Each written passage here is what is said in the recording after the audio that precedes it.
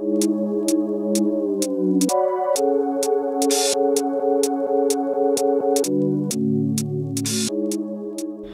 to Beachin Surf TV. My name's Clint Harris and we're here to talk about boards, fins and everything else you use to get your froth on the surf. Today we're talking about the Rusty Dwart and this is a very fat, short, stubby looking thing, kind of like a uh, dwarf. Um, that's suited for summer conditions, anything that's one to three foot, something that's a uh, really small day, but if it's three foot or two foot and got a little bit of push to it, I'm seeing a lot of guys around town that are actually using this board to really maximize their airs. I've seen some uh, guys absolutely bust out some great airs on these boards and uh, it's got some pretty interesting features that we'll jump into and explain how this board delivers you so much extra speed and fun in the small surf. So looking at the features of this board, the first thing we're going to obviously look at is the length of the thing. You're going to ride this four to six inches shorter than your average uh, short board. It's super, super flat, but keep in mind that you're going to need to ride this board short when the rocker's that flat. If you take a board like this and let's say ride it in your traditional dimensions of up to 6'4", okay, you're riding a 6'4 short board, and then you ride something like the Dwart, when it's super flat, it's just not going to want to fit into the curve of the wave and it's going to be quite unresponsible and dull. So what you need to do when you're riding a board that is shaped like this and has the flatter rockers, you want to really focus in on going four to six inches shorter because it's going to be that nice skatey fun minimal experience in such a small loose little board. Um, I've tried these kind of boards in bigger lengths and shorter lengths and they do work really well as quite a short board. They are truly going for four to six inches shorter than your typical short board.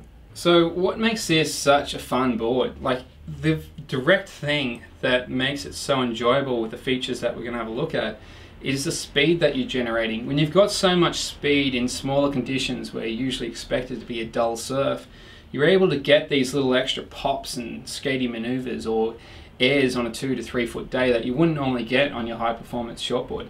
So when you're flattening out that rocker, the other thing that's going to make that quite advantageous to get more speed is volume. You're going to ride this board a few liters more than your typical average shortboard. So keep that in mind, add two, add three uh, liters, whatever's going to suit you. Um, it's going to give you that speed, your paddle power's there. There's a lot of things that you're getting from this mashup of features that you're finding in a seven foot mini mal, but being able to ride it quite short and have a ton of fun in those smaller days. One of the other features that makes it a great board is you've got a lot of volume at both ends of the board. So the first thing I'll point out is how thick that tail is right through here. You've got a double flyer to round tail, bringing it in a little bit, but it's quite chunky. It's got a lot of volume, and this is adding once again to that extra speed. Remember, when you got the smaller conditions, the number one thing you're lacking is speed. So when you've got all the features marrying up, to give you speed. It's maximizing the fun in the surf. At the nose of the board, same deal. Extra volume, extra width. They're all really focusing in on trying to maximize the amount of speed you can get. And I'm seeing guys use this once again for airs, all people that are just trying to really have fun without having to ride the seven foot or eight foot mini mals. They're able to go down to five tens and five sixes and have a ton of fun out in the surf. Something like this.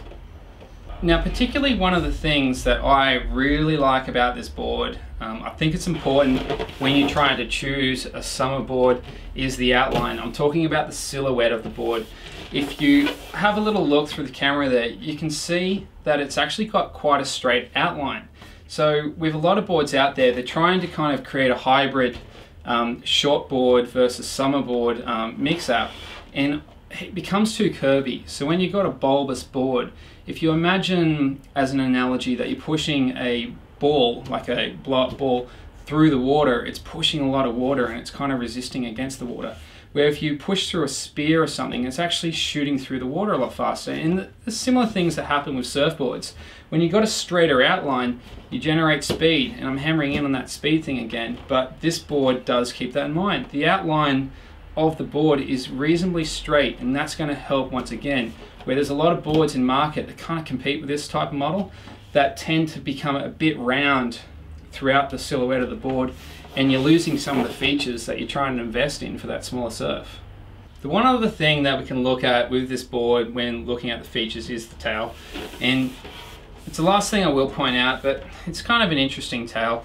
You've got a double flyer to round tail, and why they're doing that is so they can keep a straight outline in the board, like I've just mentioned, but you're able to reduce the area of the tail, which allows you to sink the tail and still change direction effortlessly. Whereas if it had kind of that straight outline, if you can imagine a line continuing here, you'd have so much area that it'd make it a bit stiffer and not as loose and as enjoyable as the board could be. The other thing with the tail that we will look at is the fact that you do have the quad option there. And if you are a guy that is trying to generate a bit more speed, um, chucking the quad, you're going to stay a little higher in the wave. It is going to be a faster option and perfect if you're trying to bang out those airs, which you're buying this board for. So with all those features in mind with this board, it's one of my preferred summer options out there.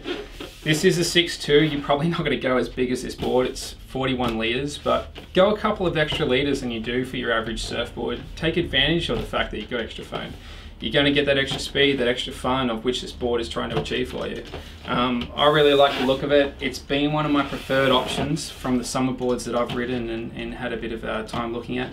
And I've had a chance to speak to some guys around the local area that are riding this model right now and the feedback's been really, really strong. So I do recommend it. Come in, check it out in store.